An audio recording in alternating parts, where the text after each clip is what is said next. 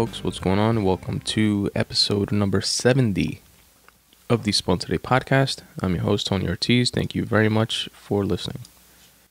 In this episode, I speak about how great of an era we're in for stand up comedy. I recently watched Jim Norton's Mouthful of Shame, Dave Chappelle's Collection 1 and 2, I believe that's what they're called, Mike Birbiglia's Thank God for Jokes, Amy Schumer's The Leather Special, and Jerrod Carmichael's Love at the Store. I revisit the book I'm currently reading, The Magic of Thinking Big, which I spoke about in the last episode. And I speak about training for the five borough cycling marathon, as well as building a PVC fence with my brother. Lastly, I read the Spun Today questionnaire response filled out by fellow writer Elaine Miss Montana Almonte. Ah. All right, folks. If any of that is stuff that you think you might be interested in, uh, obviously stick around. I'm trying to squeeze in at least half of this recording in the morning uh, before work, and then whatever I can't get to by the time I need to start getting ready to go to work, I'll finish off uh, later on in the day. It's been a, a, pretty busy week, so I wasn't able to record this weekend. And um, today is Wednesday, actually. So you guys be hearing this shit tomorrow. All right, so stand up comedy.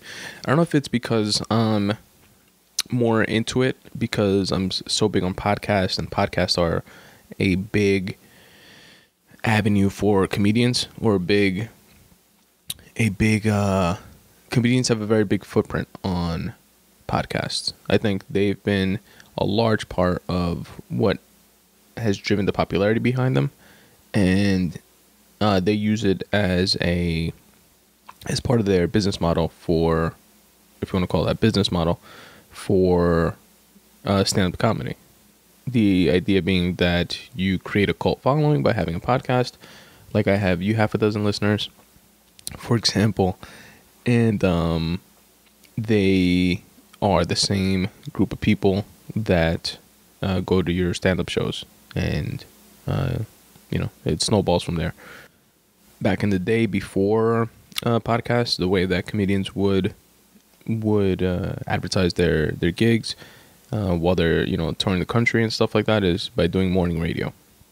And podcasts have at least the popular ones have since like blown that out of the water, and the necessity to do that those like four, five, six a.m. Uh, morning radio shows to promote their gigs. They just mention it on their podcast and then you obviously have social media and you know the whole nine. Technology has facilitated a lot of things but podcasts are definitely um, a big part of that equation for them. So i don't know if it's by virtue of the fact that i'm so into podcasts that i listen to so many different comedians either on uh, podcasts that i listen to or i listen to their own podcasts that they that they have. Uh, like the joe rogan experience like ari shaffir skeptic tank like Duncan Trussell's Family Hour, like Joey Diaz's The Church of What's Happening Now, like Steve Simeone's Good Times, and so on and so forth. And a lot of these comics, obviously, they're friends with other comics. Uh, you know, they work within the same world, and they interview a bunch of comics. So I hear about like specials that are coming out and stuff like that, and um, and I watch them. You know, if they, if it's a comic that I like, or or they sound like they have an interesting point of view. I like watching stand up comedy. It's a it's a dope pastime. And um, since the last recording, I've seen a bunch of them. But anyway, I don't know if it's by virtue of, like I was saying, of the fact that I listen to so many podcasts that I'm so much more into stand up comedy now, or if it's just that it's so much better now. And I think that's actually part of it. Not necessarily that it wasn't as good like back in the day, because you know my like my all time favorite uh, comic is George Carlin obviously Richard Pryor is a very high regard, and and the Eddie Murphys and the Bill Hickses and Sam Kinisons. The list goes on and on and on, right? There's always people pushing it. There's always people doing things at a higher level, and now the only difference, at least to me, and again, I'm no, um, I'm just a comedy fan. I'm not a, a comedic historian, so don't take uh, my word for it.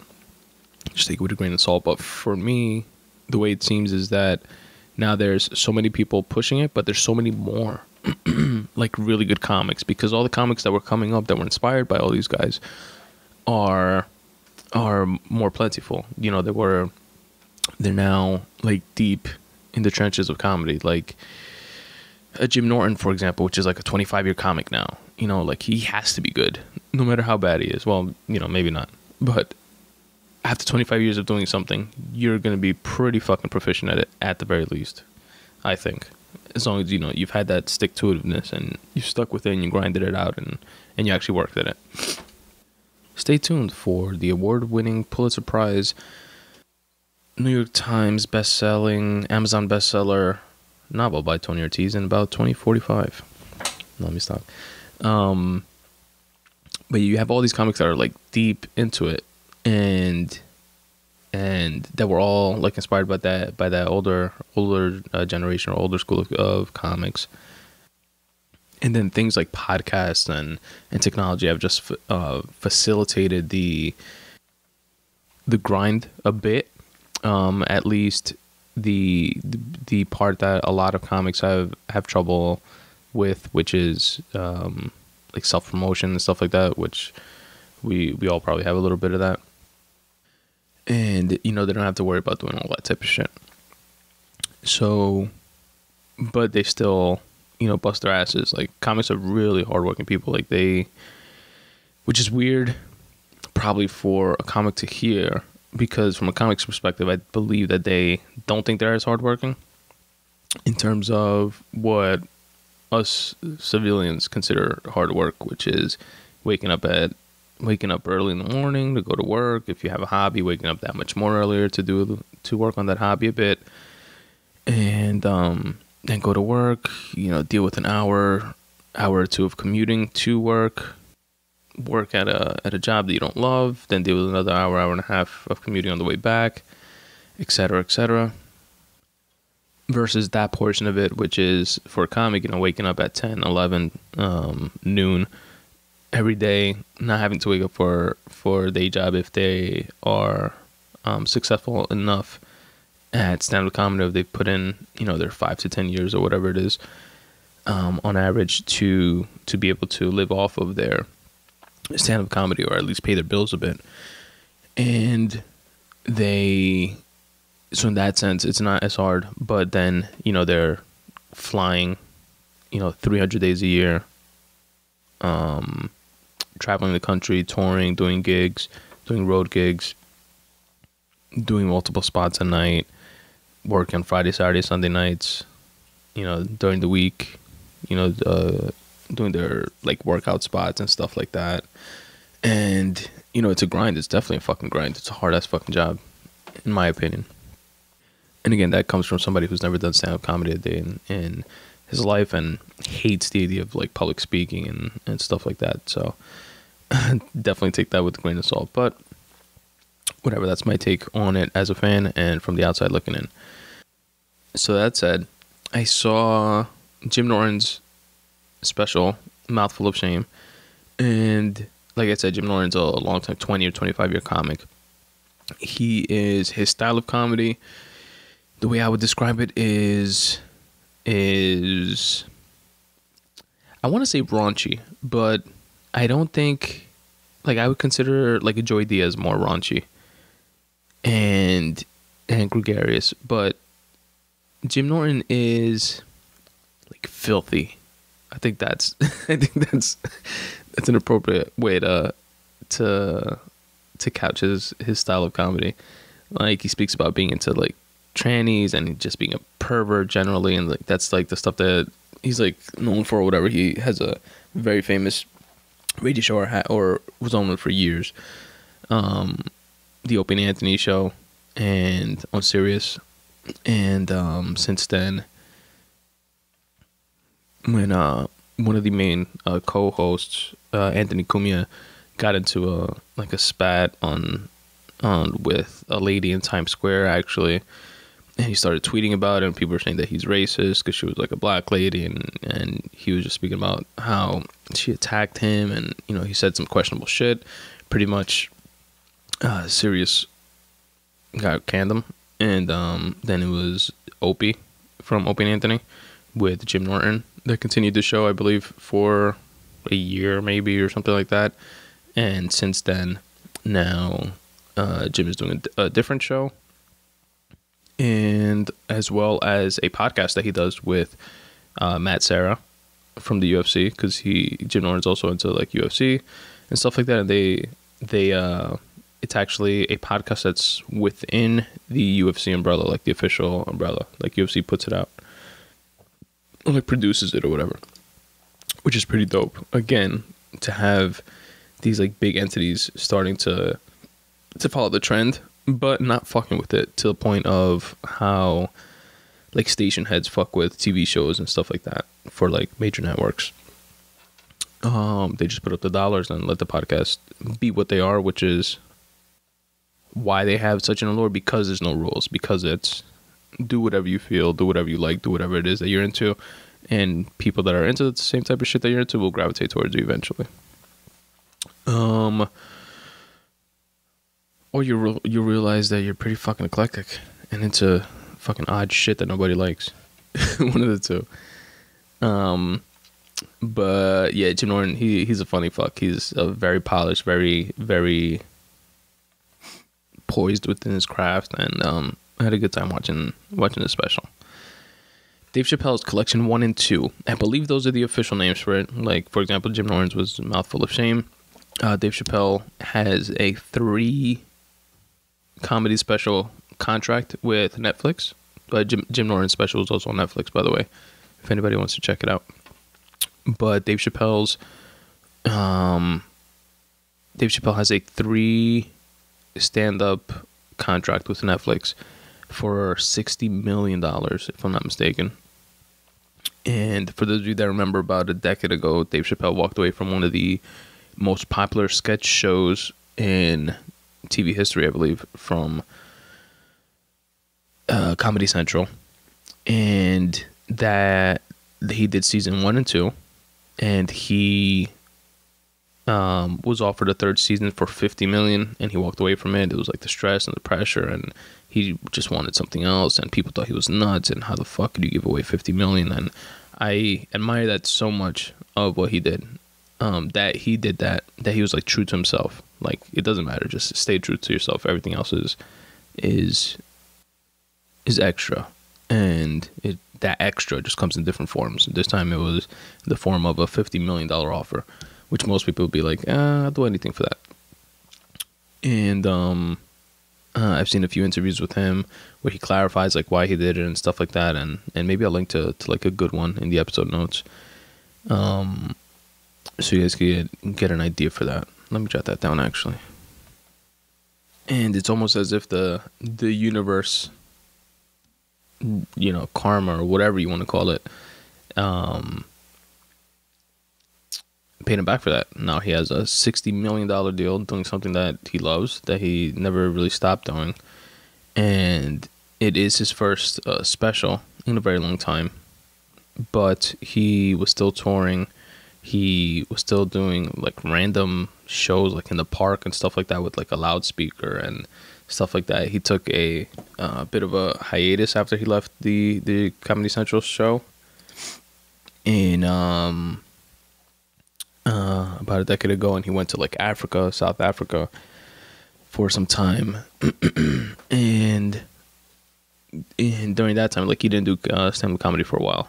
I believe he, he speaks about this in in one of the interviews that, that I'm thinking about, and um, then he got back to it and started touring again and shit like that, and and he has a, a fucking three three deal special worth sixty million dollars with Netflix the first two released simultaneously, which was interesting.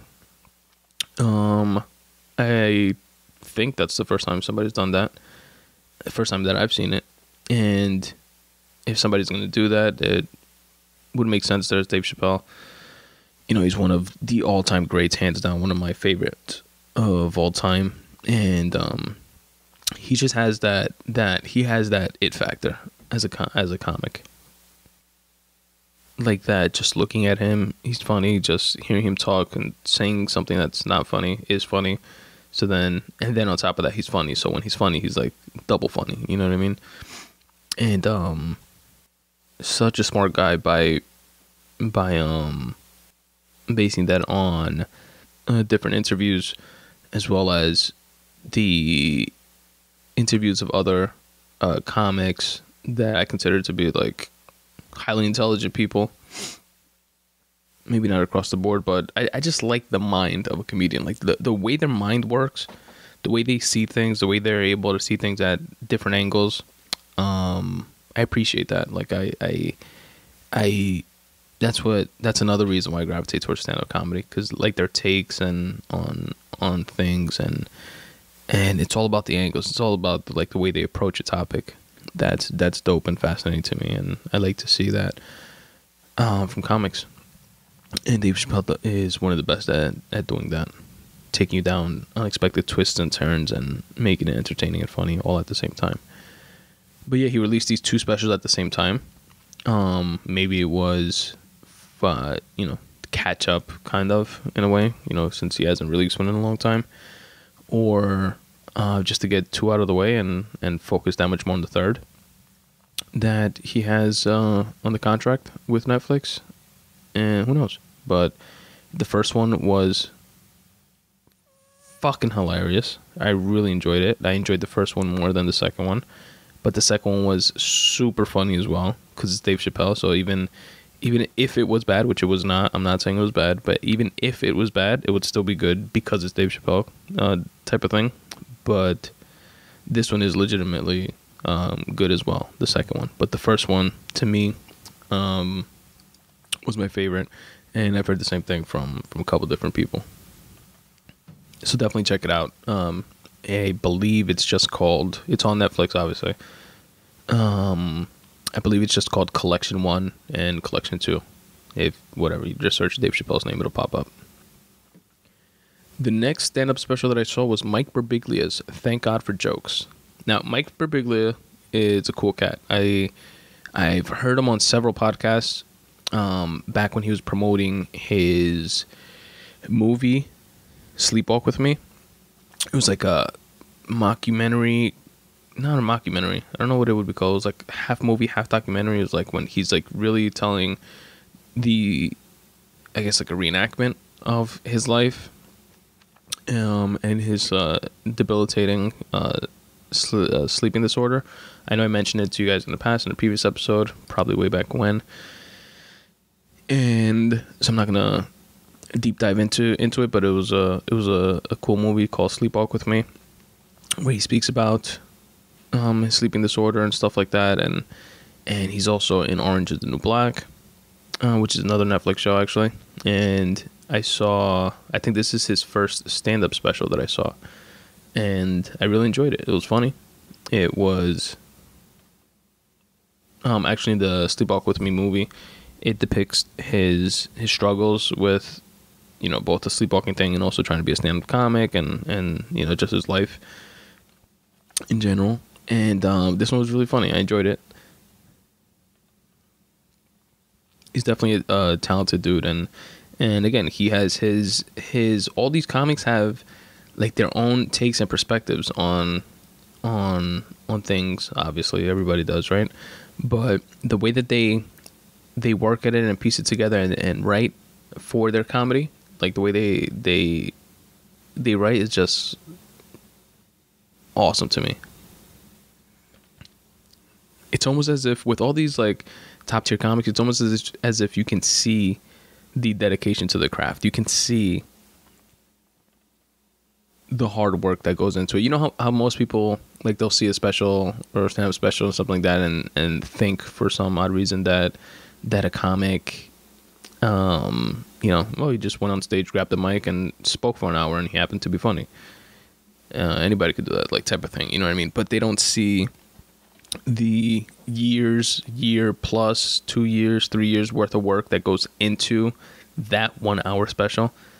Um, I see that hard work. Maybe again, it's because of the fact that I'm exposed to so much uh, comedians and and you know their quote behind the scenes type shit with how open they are uh, on podcasts speaking about their craft and stuff like that. So I know that they do 15 minute sets, you know, five or six times a week um, to work out sets to go try a joke and see if it works, and then change a word here and and you know change one word within the whole thing to punch it up a little bit, and then try it the next night, and you know continuously try it and try it in different cities and see if it works. In, if it works in New York, see if it works in Kansas, and and uh, stuff like that, and you know write for hours on end when they are writing um, their actual material and and and just working on it and tweaking it and for like a year or two years and to then polish and put together this stand-up special that you're enjoying that some people take for granted as oh it's just an hour's worth of talking. And i personally am able to see it on these like top tier comics like like i see that grind and that grind is what i appreciate personally. And it's that much more like awe-inspiring with guys like like um like any of these guys jim norton dave chappelle mike birbiglia that do other things like you know produce and and direct movies and star in movies or or you know have other shows.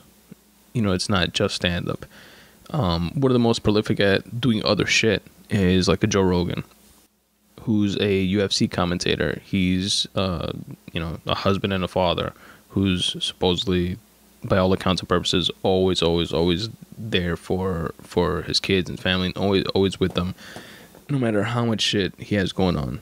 Um, he's a UFC commentator, probably the best uh, MMA commentator ever of all time. Definitely a pioneer of the sport. He was on a couple of TV shows that went into syndication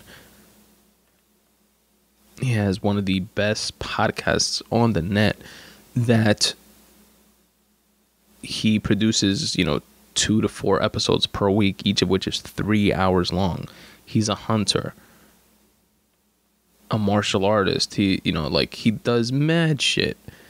Um, and still, you know, hones his uh, comedy craft. Uh, it's just uh, fucking inspiring meet people like that that grind like that. Um, and what else? We have Amy Schumer's The Leather Special. I've seen a couple other Amy, probably all of Amy Schumer's like uh, specials. I've enjoyed all of them, even like that big controversial one, which was the one before this one, if I'm not mistaken, where um, she was accused of joke stealing. And uh, like when that special came out, um, as well as like through her show, which her show, you know, I've gone into this in the past, so I'm not gonna delve on it, but her her her sketch, she has a sketch show inside Amy Schumer, and you know, there's a bunch of other comics that write on the show, and a bunch of other people in general that write on the show. So you can't really like pin the joke stealing on her. Uh, but at the end of the day, the buck stops with her. It's her show. It's her name on it. So it's like, um, you know, a little hazy, weird, gray area. Um, and then, well, like with the stand-up comedy, there were like bits that were eerily similar to to like a Patrice O'Neal's and and stuff like that, and um, very questionable. So, but she never struck me as as I don't know, like I don't I don't see that intentional. That could be naive, you know. Maybe fucking fame got to her head and she wanted to like live up to something, but because uh, she got like so famous so quick and um um but she was definitely obviously like talented before that. So i don't know. I don't know. I i just personally never saw it as um, i never pegged her as like a joke thief. And and i guess the jury's still out but you know she's still grinding. That that part i appreciate the most out of her special. Um because again i said i see i've seen uh all her specials and they were all really good really funny. Really enjoyed them. Um this last one I think was a little weaker to me. And but what I do appreciate so much more um, from the special, besides like the content of the special itself, is that she was able to like grind past that that controversy, very very big controversy. It's like the worst thing you could you could do is label a comic as a like a joke thief or something like that. Um, and she's gotten through that and put out another special. She's still working. You know, she still has her show, still still grinding. So I appreciate that grind. Jury's still out on all the other shit, um, and the special was was okay. And lastly, in terms of the stand up, uh, Jerrod Carmichael's Love at the Store. Jerrod Carmichael's one is another one of the uh, like up and coming comics who's been doing it. I, uh, I don't know exactly for how long. I want to say five to ten years, like within that range. He's a younger dude. Um, heard him on, I believe, Marc Maron's podcast, uh, promoting this special, and I it was really good, really funny. He's like uh like one of those uh, like Pete Davidson type comics that I've spoken about in the past. That you know he's a younger up and coming comic, but that has the work ethic of these older comics and is willing to put in the work and, and grind and just have like a has like a, a fresher you know younger um maybe not fresher but just like a, a younger mentality or a different point of view you know coupled with that um that work ethic that's so necessary within this field and probably any field but um uh, I like that. I like the fact that he filmed it at the comedy store, similar to how Ari Shaffir did. You know, the comedy store is like the mecca of of stand up comedy. And uh, what else? And it was on HBO. He actually like broke the whole like Netflix, um, CISO type mold, and did an HBO special, which it must be on a bucket list. Like if I was a comic, I would want an HBO special. I would want a Comedy Central special, and then obviously Netflix and stuff like that because they're they're big into promoting stand-up comedy right now. But to me, it, it would seem like as a like as a wannabe writer, um, I want to have a New York Times bestseller. You know, even though like that doesn't mean much, and there's ways to. I mean, not that it doesn't mean much; it would mean a lot. But New York Times holler at me. But it's not like, oh, you have a New York Times bestseller, you're you know retired millionaire or something like that. Like I think it's it's a couple thousand books that you have to sell, and it, it just has to be within like uh, publishing week or something like that. Like with I don't know, I don't know the exact numbers or like the algorithm that they use, but you know, it's like for the sake of conversation, um, you know, sell two thousand books within the first uh, release week or something like that, and then you make the New York Times bestseller list. Uh, but there's there's issues with them not recognizing ebook format currently. Um, it's just like hard copy shit. So I guess that's where the difficulty it comes in a lot. Um, but then you know you could be in Amazon um, on the Amazon uh, bestseller list and stuff like that. But anyway, point is, if I was a comic, I would want an HBO um, special, and he definitely checked that off his bucket list. And it was funny as hell.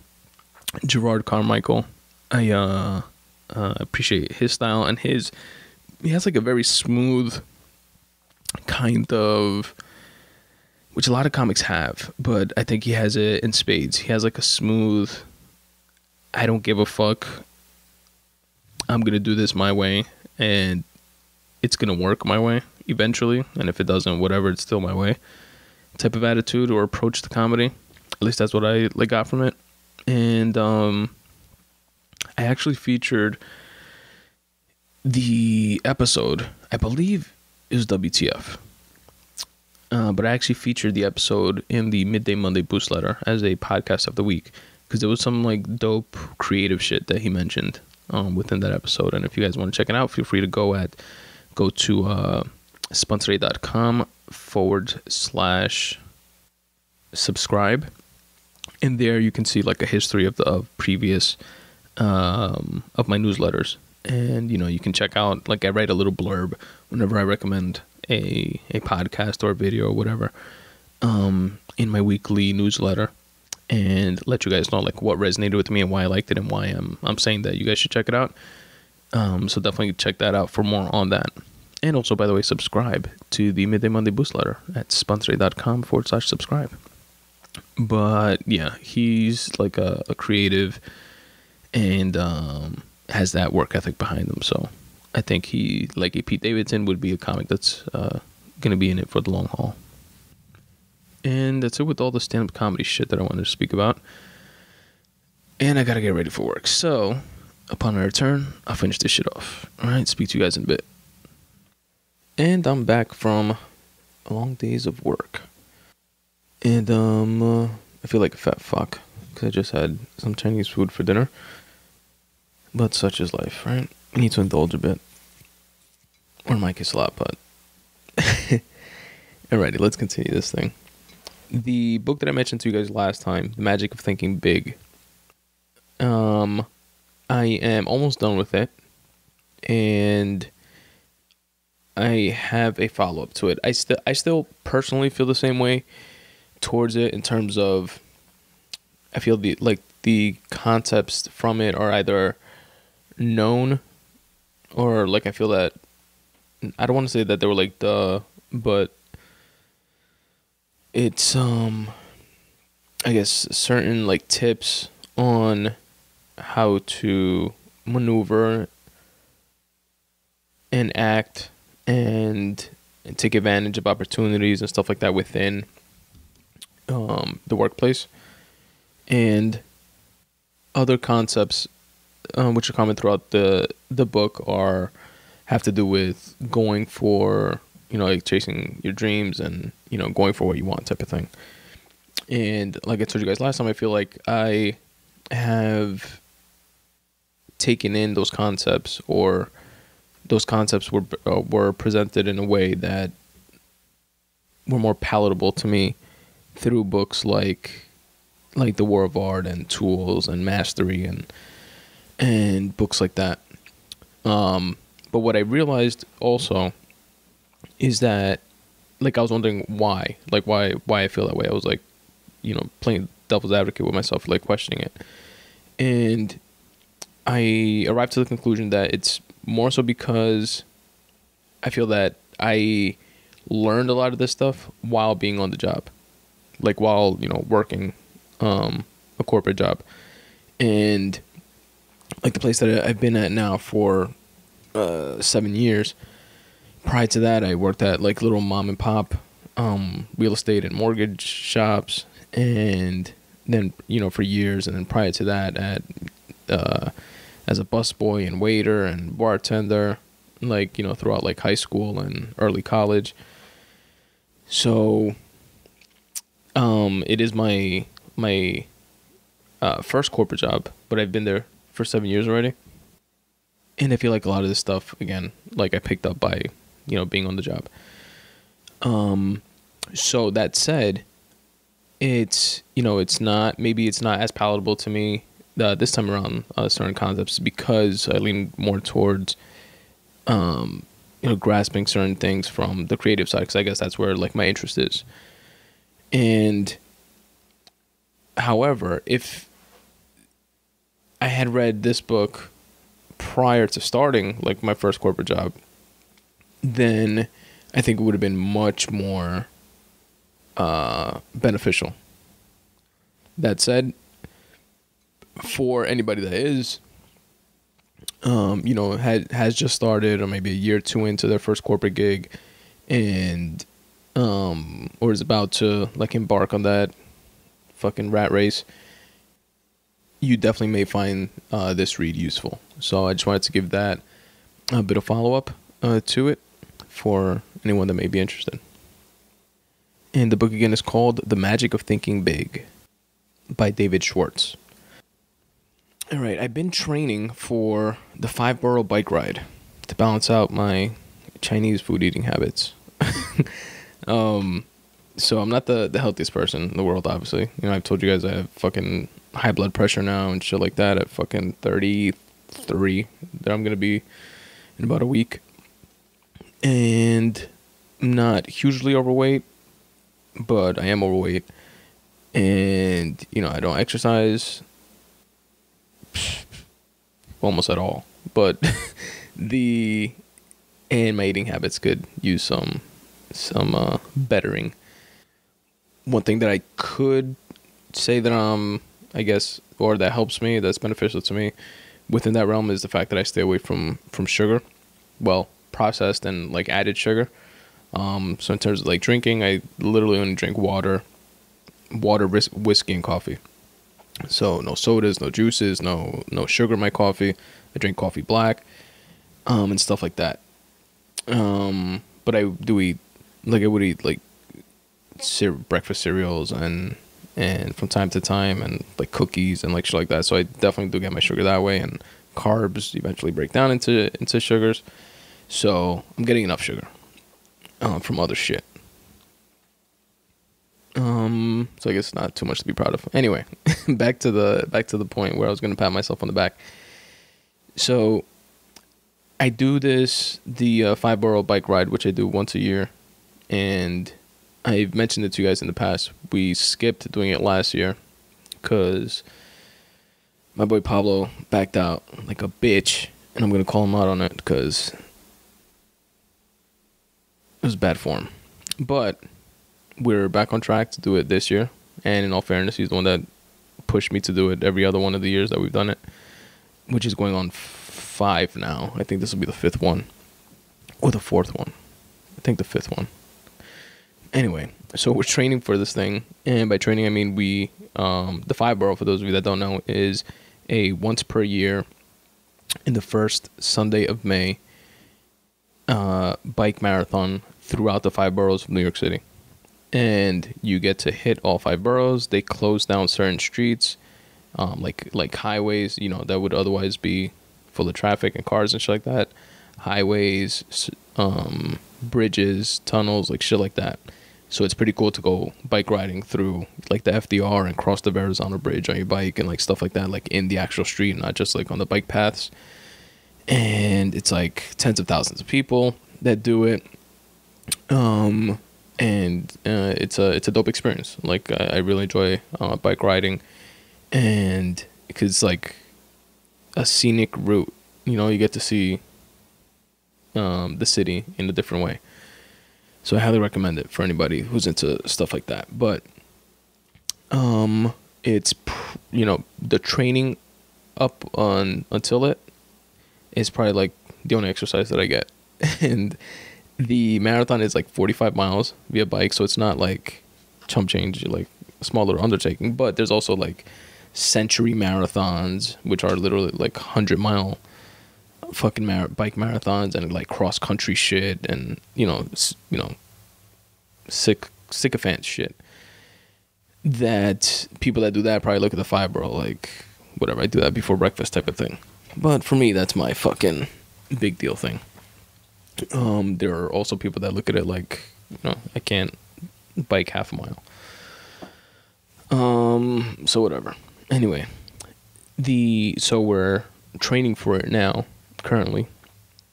It's April. It's the first week of April, and it's the first week of next month. So we got a couple weeks left. We've gone out already four times, and the way we do it is that we try to hit different uh, bike paths throughout our training cycle. And we go out once a weekend, either on a Saturday or Sunday, depending on the weather and other shit that we have to do. And uh, like the first time out, uh, we did five miles. Then we we graduated up. Then we did 10 miles, and one after that we did like 12. Uh, last weekend we did 15. Um, we bike for anybody that's from New York. We do like Forest Park. We did a couple times. We did Bayside Marina. Um, we did the Belt Parkway last weekend, and um, next weekend we're gonna hit up Central Park. Um, so you know we get to like see different tracks and stuff like that, and do some exercise. It's been cold as shit here in New York, so, so it was a bitch, especially when we did Bayside Marina, which we were like right next to the fucking water. That's where that uh, bike path is, and it was I don't even know, fucking like thirty degrees or something like that outside. Uh, but we got to get the reps in because we have to get up to the point where over the next uh, couple weeks that we could do the 40 miles uh, easily, you know, the way we've done like in past years. So I've been gearing up toward for that and I wanted to tell you guys about it.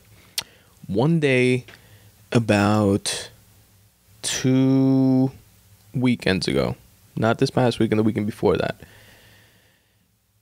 my I have like a like a touch of OCD when it comes to certain things. So like if I say I'm gonna do something, um, like hell has to freeze over for me not to do it. Like that's my whole thing with you know releasing the podcast consistently every other Thursday um, at 9:37 a.m. and it like I want to keep that consistent. You know, the show must go on type of thing. Um, like I have that with other with other things. So if I tell somebody I'm going to be somewhere at a certain time, you know, I'm there. And um, if I tell somebody they can count on me for something, Like I try to make it a point to like do shit like that, right? So we have like this training schedule like mapped out from now until the the marathon, and uh, my brother wanted to build a PVC fence at his crib and in the backyard. And a PVC a PVC fence for those of you guys that don't know is like those white, those nice white, um, like pallet looking fences that people have in their front and backyards. And mind you, me and my brother have zero construction experience or anything like that. He was literally just watching like YouTube videos and said it didn't look that hard and we could figure it out, we could do it. And I told him definitely help him out with it. So the side of me that that has that necessity to check off shit from my to-do list and make sure like everything gets done um, has the bike ride training to do as well as the fence building now and we and normally i would like switch the bike riding to a different day or vice versa but the other day was gonna I think it was gonna rain, and it was also the day that we were celebrating my father's seventy seventh birthday. So, um, it was a no go. We couldn't switch, you know, either thing. So, both had to happen in the day. So, I woke up extra early. Normally, I go like around ten or eleven o'clock for the bike ride uh, training, and I woke up like at seven. And that's the the weekend that I did like twelve miles in Forest Park, and then I was done, and at my brother's crib by I want to say like ten thirty or definitely before eleven, maybe like 10, 15, 10 around there, and um, we did from yeah like ten thirty I was there. We did from ten thirty. We worked on this fence, and it was a long, grueling day, especially coming off of a twelve mile bike run, and it was um a lot to do because we had to he had a old like uh link fence and he did most of like ripping all that shit down. There was still some parts that we had to take down which we did.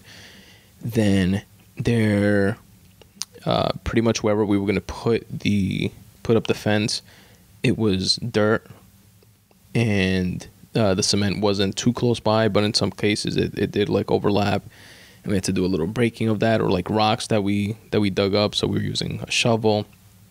Uh, he rented this like corkscrew looking jackhammer type thing that like digs the hole uh, deep in the dirt, and then a lot it's like gas powered, and you could rent these things by the way at Home Depot, which is cool, which I didn't know, like tools and shit like that that you can use for like one-off projects like this so you don't have to like buy them which makes total sense right?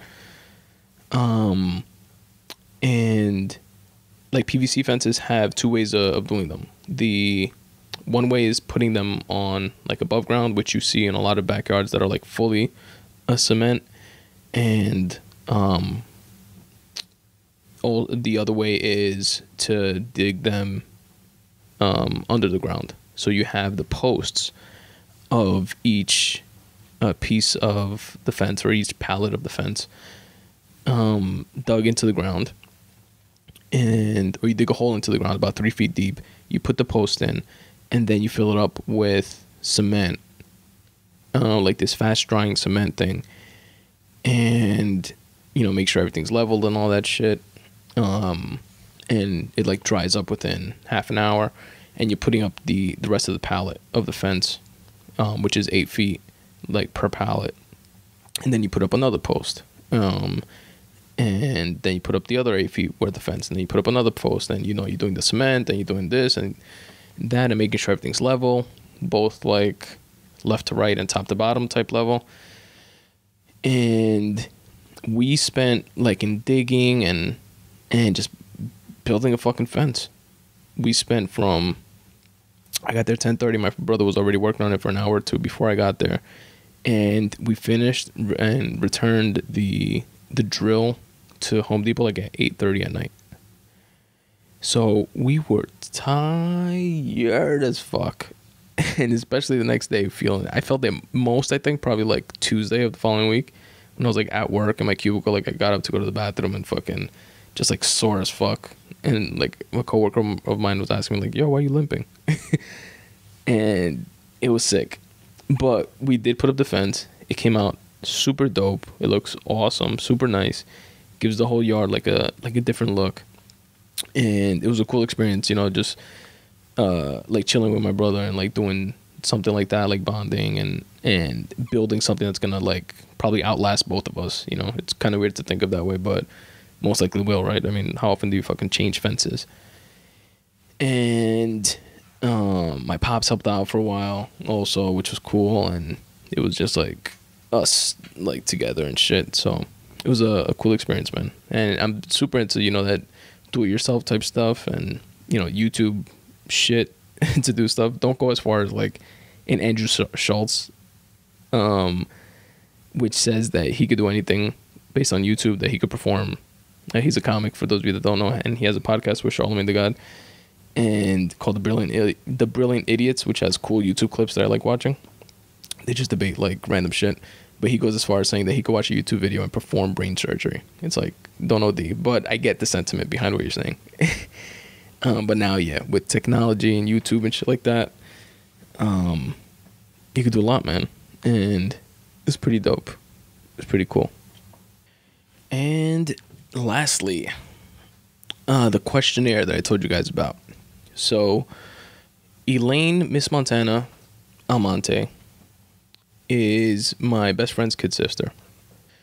And come to think of it, she probably doesn't even know that I've ever referred to her as that because it's not like I would introduce her to someone and say, hey, best friend's kid sister, this is so and so. Hey, so and so, this is my best friend's kid sister. You know what I mean? So it's not like something that she would probably hear.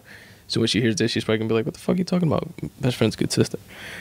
Um, but yeah, it's like de cariño type of thing. Like I have referred to her as that in the past. I don't even know when, but I don't know. Probably like in passing, like, "Oh yeah, that's my best friend's kid sister," or whatever. Anyway, which by the way, I don't know why I would even call her that because she's um like a year younger than me, like a grown ass woman. But whatever. Um, shout out to Elaine. Ah. She was kind enough to fill out the Spun Today questionnaire that is available to any of you folks, of you fine folks, to fill out if you are so inclined. And I will do the same exact thing that I'm doing now. And I'm going to share the responses to the those five questions, which are geared towards uh, creative types, as you guys will hear in a bit. And the point of it is to see someone else's perspective on how they approach something that they're passionate about, and sometimes you get, um, or I've gotten from these uh, receiving and reading these questionnaires and sharing them. Uh, tips such as you know wake up early and, and right before work and you know different apps to use like evernote or or day one which is another uh, free app that's that's uh, pretty user friendly and, and like good for writing and stuff like that. And you just get a, glimpse into somebody else's process which i think is cool and, and inspiring and it kind of like demystifies like the whole thing um, for other people which is really important to me, which is the fucking catchphrase of the podcast, right? Like substitute the mysticism with hard work. And uh, I really appreciate whenever anybody decides to fill one of these out, and definitely appreciate Elaine doing so. So let's uh, jump in and see what she had to say. Question number one is relating to your craft.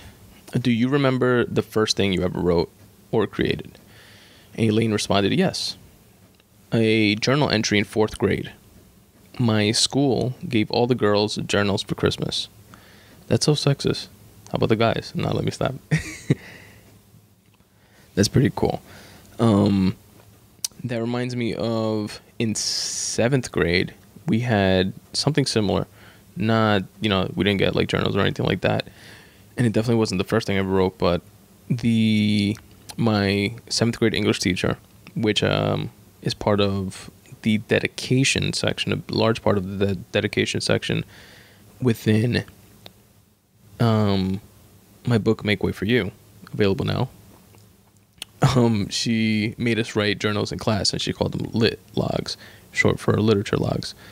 And it, I don't remember if it was daily or or weekly or what it was, but we would write them. It would usually be based on something that we were reading in class.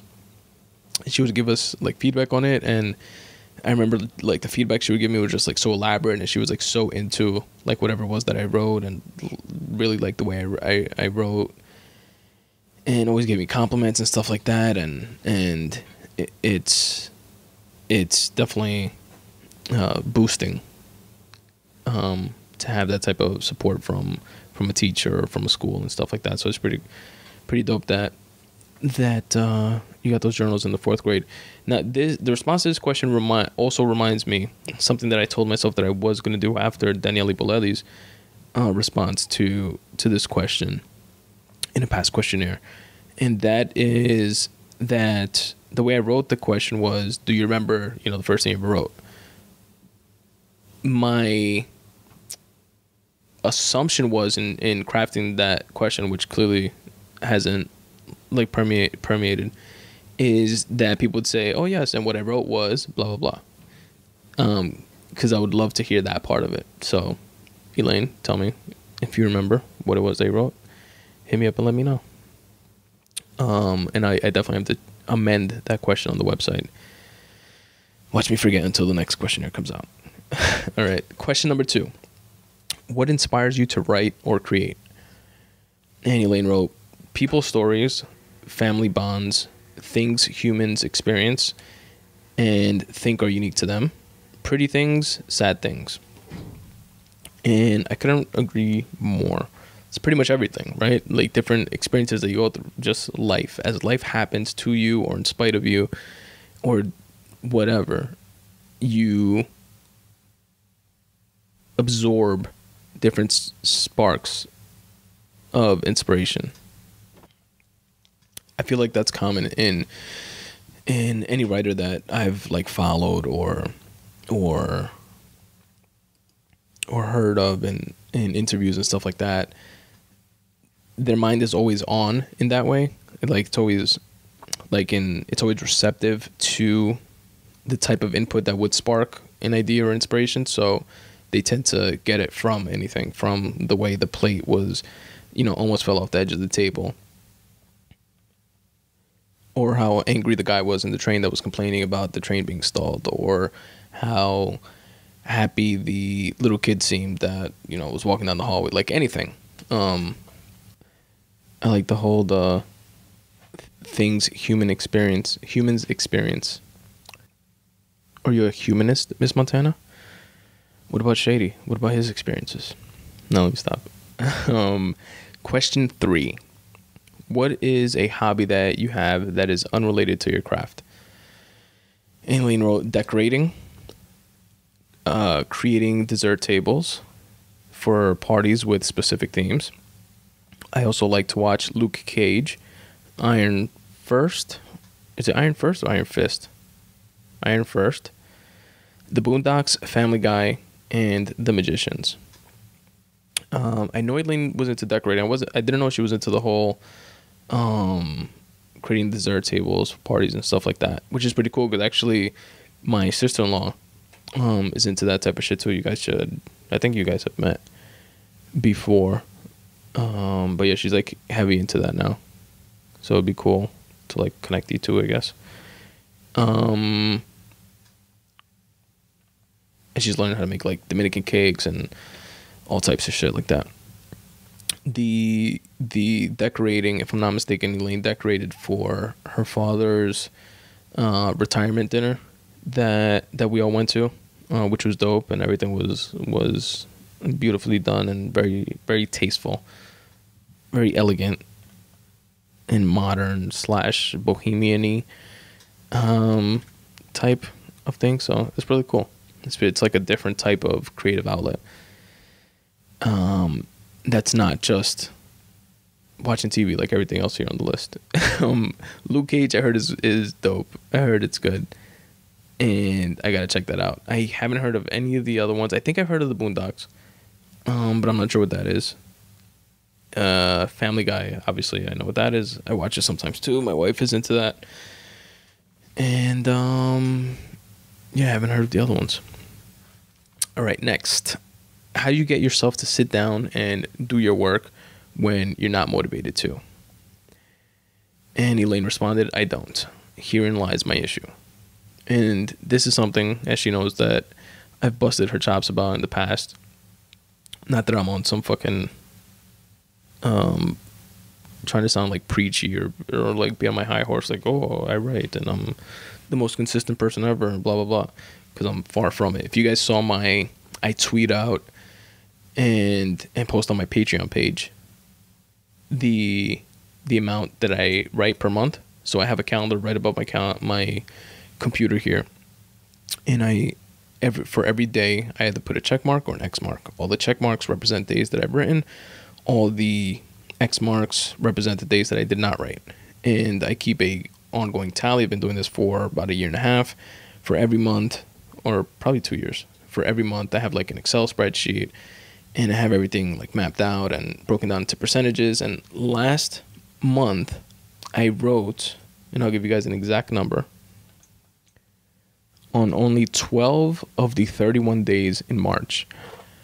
So 12 days I wrote, 19 days I did not. That is a 38.7% completion rate in terms of the goal of, you know, trying to write every day. And so I'm far from perfect. So I'm definitely not coming from that type of, you know, do what I do type of thing.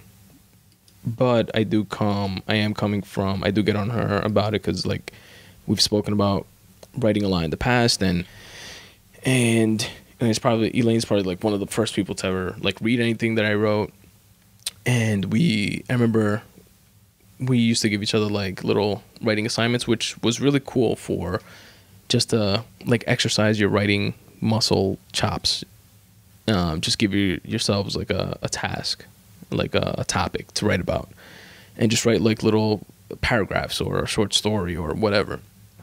Like I remember a cool one that that she gave me was look at somebody on the train when you're commuting to work tomorrow and write something about them. Like write, you know, what you think their life is about or or where they're going or whatever. And I wrote like a little like a mini short story about this kid that I saw on the train that looked like young, probably like fresh out of high school or or maybe college and he had like a suit on and he looked nervous and I wrote this like whole little short story about him going to his first job interview and being nervous about it and how he was like all in his head and didn't even notice the girl next to him that was trying to flirt with him and like I made all this stuff up but it like exercised that like writing muscle you know what I mean? So we used to do like shit like that and like email it to each other and comment on each other on each other's stuff and and I really really like Elaine's writing. I really enjoyed it, which is why I like tell her to write more often and stuff like that.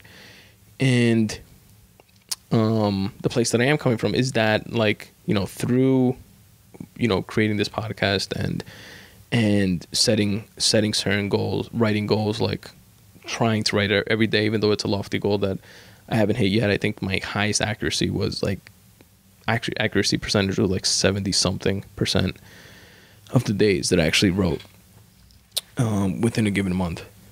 But just like setting those certain goals, it's kind of like the whole aim for the moon and if you miss, you land amongst the stars type of thing.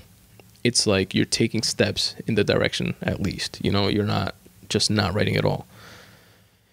And um, you have to make certain like practical tweaks, I feel, um, that definitely come in handy and what came in handy for me when I was, you know, struggling, trying to like either wait for inspiration to hit me to write, which never happened, and then, you know, writing at night when I was also trying to, uh, which I did for a long time, like just staying up late at like until like one, two, three in the morning and writing. Um, and then I would feel the repercussions of that the next day, and I'd be just like even more grouchy than I normally am with my fucking like grouchy persona. And just like out of it and not feeling well and like stuff like that and and then I got the tip of a a another writer that filled out uh, this questionnaire in the past, and he was like, um, that he wakes up at five thirty in the morning. You know, he has a regular nine to five day job. He wakes up at five thirty in the morning, writes for an hour or two, and doing that for you know a couple years at a time, and like in a dedicated way. He like self published like two or three novels or something like that. And a lot of people start out that way. Joanna Penn, which has a successful podcast and has a very interesting business model, which I would, um, which is a more realistic one to me to like uh, in terms of pursuing it. Like she has multiple revenue streams in terms of speaking engagements and podcasting and writing books and. Uh, she writes also both fiction and nonfiction, which I try to do, and um, like she worked a a day job for six years while simultaneously doing a podcast and writing books before she was able to generate enough from um, the writing books and podcasting and and you know her her authorpreneur I think it is that she calls it or some like marketing word like that um, before she was able to like quit her job and just live off of that like full time. And then eventually her husband was able to quit his job and help her with her business. And it's something that that snowballs over time or that could snowball over time, but it definitely won't if you just don't like put in that work or make that decision. And it was like one probably one of the hardest decisions like for my lazy ass cuz I can't wake up for shit in the mornings at all especially while I was in that rut of you know going to sleep mad late. If I'm going to sleep like at two, three in the morning, like trying to writing, and then trying to make that switch to okay, tomorrow I'll wake up at five thirty, and then from there I'll start. And it's like nah, shit won't happen that way. Like I had to spend a couple weeks of like forcing myself because then I'm like wired at night and I can't like go to sleep that easily.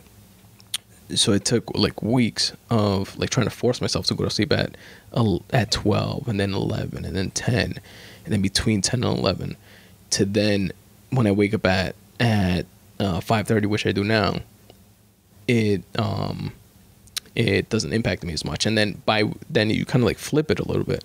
You wake up that early um you do some writing you know it could be half an hour it could be 45 minutes an hour like whatever. It doesn't have to be like you need 5 hours before work or something you know just something. And um just let it snowball. Um, and then by the time the next day comes around and it is 10, 11 o'clock at night, you're like naturally tired and you want to go to bed anyway. You know what I mean? And if that type of thing doesn't work for you, then figure out um some we all have we all have, to, all have 24 hours in the day, right? We all have different responsibilities, family responsibilities, work responsibilities. And other people are able to get it done. So, which means that you can too. Like nobody's situation is completely unique in the sense that they can't, you know, schedule their time in a way that would be, would benefit them. You could block out for yourself, uh, you know, 30 minutes a day or 30 minutes 5 days a week or whatever it is even if it's on a Saturday okay let's say Saturdays you sleep in or something and wake up at 11 wake up at 10:30 and write for half an hour or Sundays or you know whatever Sundays night Sunday nights between seven and eight, you know cut out, you know give up fucking iron Iron Fist. It sounds whack anyway. Give that one up and and write for an hour, whenever that whenever you normally watch that shit, and like it has to be you have to balance it that way, but definitely. I would want to like see more of that. And that would be like my advice, I guess, like my take on that. Not that you really asked for it, but there it is anyway. And lastly, do you have any advice for other writers or creators, new, seasoned, or otherwise? And Eileen wrote, spend time traveling. Inspiration will come. I absolutely agree with the whole traveling thing. I think the more we experience and the more inputs we get, um, the better it is for us. It's like uh, taking an ammunition that we use to like explode within our creative selves. Uh, the inspiration will come, I agree with to a certain extent, but as long as we're not only waiting for inspiration to come, as I pointed out, like with the last question, it's kind of like we gotta like meet it halfway type of thing. and don't just wait on it. And um, that's pretty much it. That is Elaine's feedback. Elaine Almonte, thank you again. Elob, very very much. Really appreciate it. And um, anybody else that wants to wants to give some feedback on it, hit us up. You guys know how to reach me. And uh, yeah, thanks again. Best friend's kid sister, aka Elaine, aka Cole, aka Miss Montana, aka Ah, aka What Up Though. Alright, that's enough. um well folks, that wraps up episode number 70 of the Spun Today podcast. And I appreciate you guys taking the time to listen. If you want to stick around for a couple more minutes, I'll tell you guys how you can help support the podcast in a couple different ways. And if not, feel free to check out the next episode in a couple weeks or any of the back catalog episodes that are, will always be available to you for free and for your listening pleasure. There are currently now 69 other episodes, 69 other episodes of me rambling and talking shit the way I'm doing now that are available for you guys to listen to whenever you want on demand. You demand it and you have it. Anyway, alrighty. One thing that I would appreciate for you guys to do is sign up to the midday Monday boost letter. Why not? Everybody fucking hates Mondays. Nobody likes Mondays.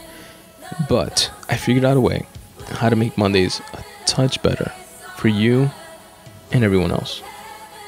Sign up to the Midday Monday boost letter at spuntoday.com forward slash subscribe, and you will receive the very next one. And what it is is a small email that contains five things a photo of the week from a dope photographer that I found on Instagram, a podcast of the week that I found fascinating and I wanted to share with you guys, a video of the week, a quote of the week, and a word of the week. Who wouldn't love that? Again, sign up for it at spuntoday.com. It's 100% free. If you don't like it after you get a few of them, feel free to unsubscribe at any time. And you know, you won't get bombarded with bullshit. Um, you'll get this email once a week at noon. The Midday Monday Boost Letter. Subscribe at spuntoday.com forward slash subscribe. Next, fill out the questionnaire, like the questionnaire that I just read, um, that Elaine filled out for us. And I will read your responses and, and share your input with the other listeners of the Spun Today podcast and give you a shout out on the podcast. It's a free way to plug your own blog or website or podcast or whatever you have going on. It's a win win. Uh, check out the photos on my website at spuntoday.com forward slash photos. I'm a, aside from being a wannabe writer, I'm also a wannabe photographer. Go figure. And I post some photography on my website, which is all downloadable for free. And it's cool shit from trips that I've taken, as well as just sites around NYC. Uh, check it out if you're interested. And if you happen to want prints of any of that uh, photography, if you want to print a poster or a frame that you can, you know, print and frame and hang up on your wall, go to crated, C R A T E D dot com forward slash spun today. The uh, a big way that you can help support the podcast financially without it costing you a dime is to do the shopping that you normally do on Amazon, iTunes, uh, etc. But do so by going to my affiliates page and using my Amazon banner. Now, what that is, for those of you that don't know, the way it works is you would go to my affiliate links page, which is at spuntoday.com forward slash affiliate links. And there you're going to see an Amazon banner. It's going to, you know, like a little Amazon advertisement looking thing. An iTunes one as well. And what you do is you click on the Amazon banner and it takes you to Amazon's website. Same exact way as it would um, when you type out, you know, www.amazon.com. And then you do your shopping like you normally do. You add stuff to your cart and then purchase them. And Amazon gives me a cut or a percentage of whatever it is that you purchased. And it doesn't come out of your side. It doesn't increase your purchase price or anything like that. It's a cut from their end of the profits just for driving traffic towards their website.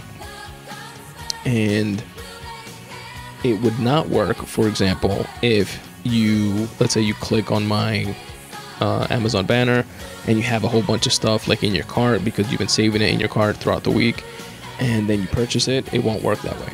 So you have to go from my my uh, my website from my portal and do your shopping from scratch. You can't be like storing shit in your cart and have it work. So that's the only thing, I guess. But whatever. If you shop on Amazon, you can do so by and support the podcast at the same time. So why not? Uh, there within my affiliate links page, you'll also see, like I said, the iTunes banner works exactly the same way. Click on it, takes you to iTunes, buy your music, buy your iBooks, whatever it is that that you do, and uh, you can support the podcast in a very similar way.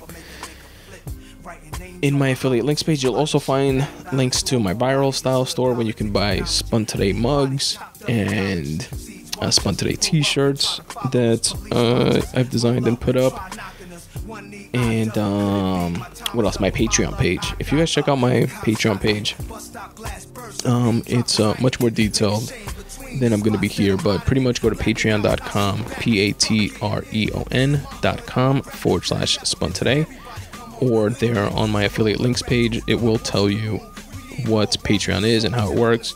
And pretty much it's uh, you choosing to donate to the podcast either a dollar per show five dollars per show, ten dollars per show, whatever it is you want to donate per show. Um, which for the record, I put out two shows per month, and that will help support the podcast, obviously financially. And you get something back with every uh, level or tier of donation that you choose to patron. Whether it be a shout out on the podcast and a limited edition uh, Spun Today bookmark, fancy, fancy, or unlimited free copies of books that, that I put out, uh, digital copies of books that I put out, etc. So check it out. There's four different tiers of, of donations available, and it would be greatly appreciated.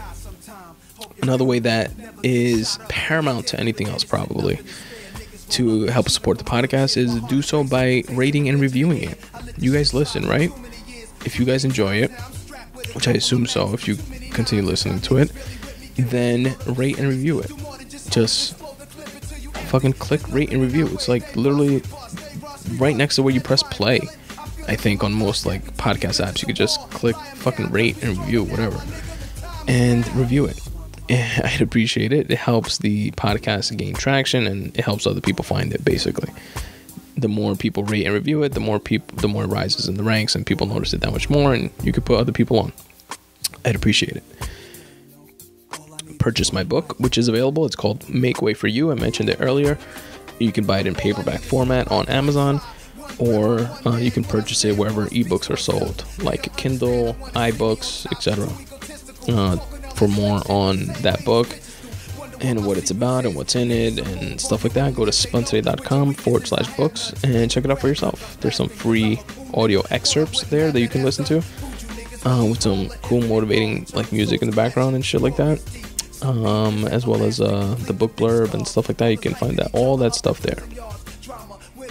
Continue checking out the YouTube page, uh, the spuntoday.com, uh, the Spun Today uh, YouTube page rather where you can listen to this podcast in segments, not just like in its entirety. Uh, you can listen to like little clips of it um, on there, and it's pretty cool. So check it out. They're probably more digestible that way for for those of you that enjoy a smaller format. And the full episodes are also available on YouTube as well. So pick your poison, folks. Uh, follow me on Twitter at Spun Today or on Instagram at Spun Today subscribe to the YouTube page that I just mentioned. I'd appreciate it. And like the Facebook fan page, facebook.com forward slash spun today. And yeah, that's pretty much it. I'm done whoring myself out and doing the uh, housekeeping here to keep the boats afloat. And with that said, folks, episode 70 of the Spun Today podcast is in the books. I'm your host, Tony Ortiz. And as always, substitute the mysticism with hard work and start taking steps in the general direction of your dreams. Thanks for listening.